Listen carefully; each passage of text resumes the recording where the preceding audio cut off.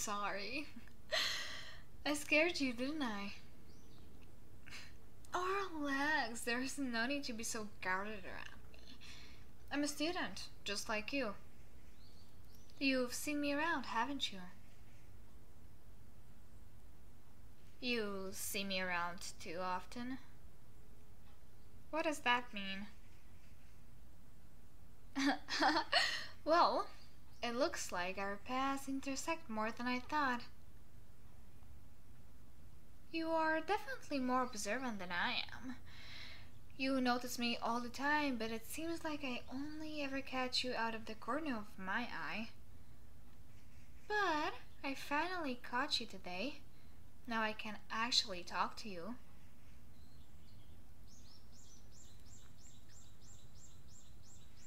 Why do I want to talk to you? Hmm, well, it's because I think you're the only person in school who I haven't spoken to at least once. And that kinda sucks, because out of everyone, you're the one I wanted to chat with the most. Why you? oh, don't you remember? At the beginning of the school year, you bailed me out of a really sticky situation. Hmm. Okay, let me jog your memory then. the date is September 15th. It was a hot day and I really couldn't take it anymore. The teacher had neglected to turn on the air conditioning, and you know what? He had stepped out of the classroom while we were all working on the class assignment. So, he wouldn't mind if I turned it on, right? Yeah, that didn't happen. He was mad for some reason. I mean, come on, Mr. Blake. Would you rather have your students die of heat stroke? Anyways, while he was yelling about how only he was allowed to control the air conditioner, blah blah blah, you raised your hand and asked him about the assignment.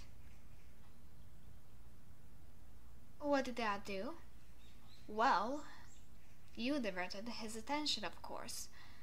He forgot all about little old me. Nice save by you. We got to keep the air conditioning on. Uh, I don't really care if you just wanted to ask a genuine question. You still saved my butt. I've been looking to chat with you ever since, but you always just scurry away whenever I see you. Could it be that you're avoiding me? Do you not like me? My fan club? What fan club? What are you talking about?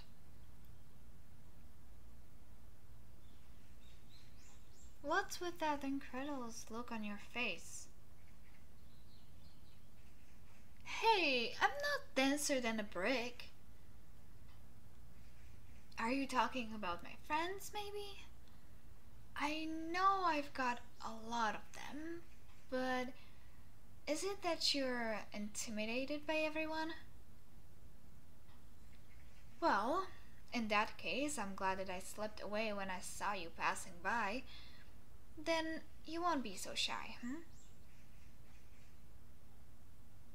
Not your point? What does that mean? Hey, go on. You can tell me. Even if it's a little mean, I'll listen. And you don't look like you have a mean bone in your body anyway. Well, if you think that I shouldn't judge you by your appearance, then why don't you chat with me? Let me get to know who you are inside so I don't have to only look at your appearance. Deal? Ah, there we go, there's a smile. You know, you look even more attractive than normal when you smile.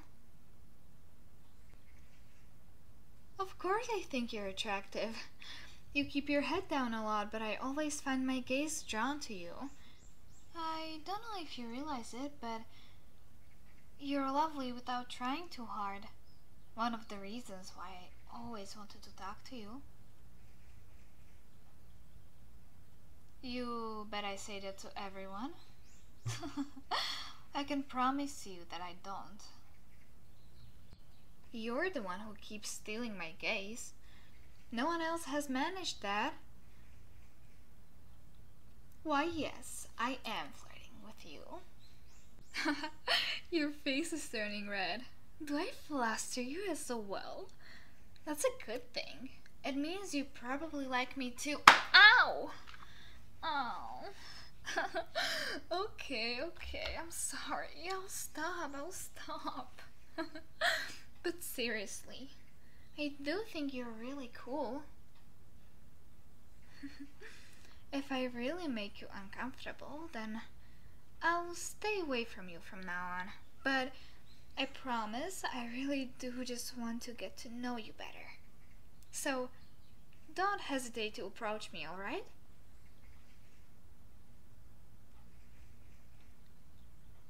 You want me to approach you first? Alright, if that's what it takes to get to know you. Hmm? One other thing? You don't want me to approach you while my friends are around. Is it because they make you uncomfortable? I do see you keeping to yourself. Do you not like crowds?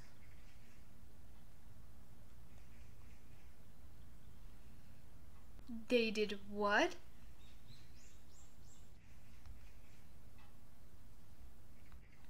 Oh, you.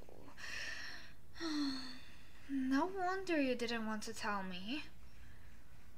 Hmm, I. I can't say for sure that I believe you, but. But I know that my friends tend to get protective of me. Besides, I've never seen you lie. Not even that one time when you accidentally tore the teacher's textbook. I'll talk to my friends. If they did all that to you, then I guess we weren't friends after all. No, no, no. Don't apologize. You should never apologize for something someone else did. It's my fault for not noticing how they were treating you. Okay, yeah, that comment about my friends being my fan club makes more sense now. Hmm. Tell you what, why don't we meet up here next week? Same place, same time. So, we can chat more, of course, and to update you on the situation with my friends. As long as no one knows that we meet up here, that's fine, right? Great. I'll see you then.